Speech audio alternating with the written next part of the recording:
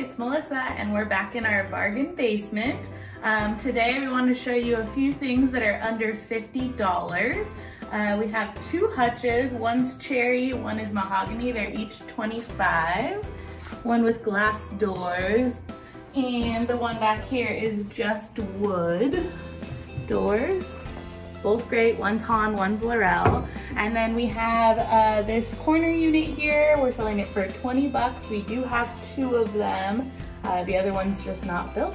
But if you're looking for a little corner unit, maybe for your home or your office, we've got it.